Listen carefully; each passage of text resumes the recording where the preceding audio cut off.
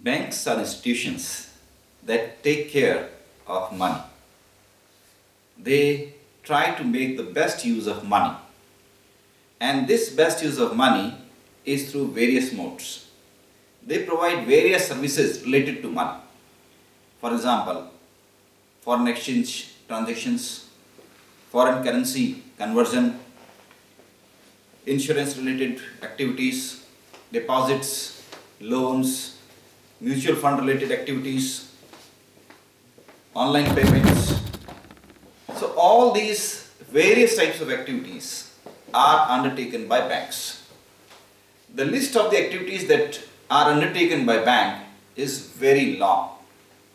Today we shall look at evolution of banking in India. We are fortunate that banking in India is as old as civilization. The format has changed, the structure has changed, it is now very well organized in a very well formal manner. But banking is as old as civilization in India. India is one of the rare countries which has history of banking which is for times immemorial. We have seen bankers in India very very old times. We used to have bankers and the kings used to have uh, you know support from the bankers and bankers also used to get support from kings. Whenever there used to be need of financial resources, the kings used to look upon bankers. The traders had well established systems of trade and uh, of course they were not as sophisticated as the modern systems and uh, we can say the banking in India is as old as civilization in India. But that's not the case with modern banking.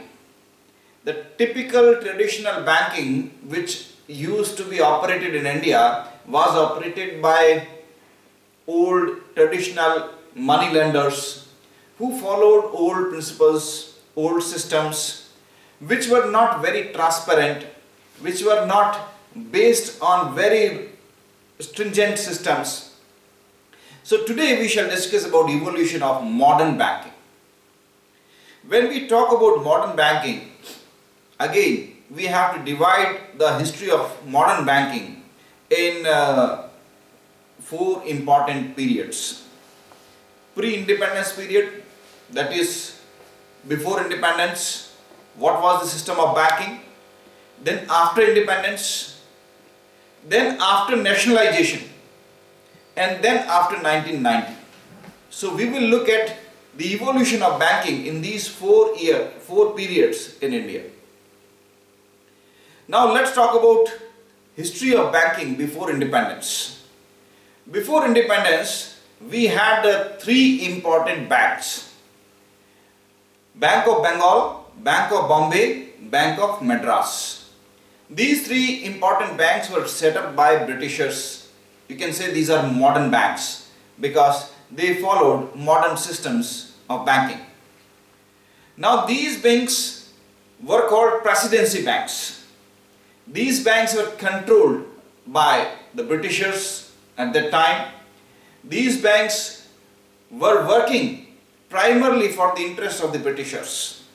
But then they introduced the modern form of banking in India. Because of you know looking into them, many private banks also came. But these private banks did not make very much important rule before independence. Their size was small, their operational level was small. So many private banks also started coming.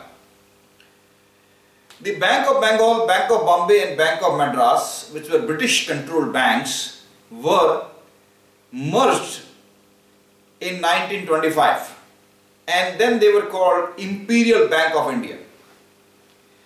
This is the Imperial Bank, the same bank which converted into State Bank of India after independence.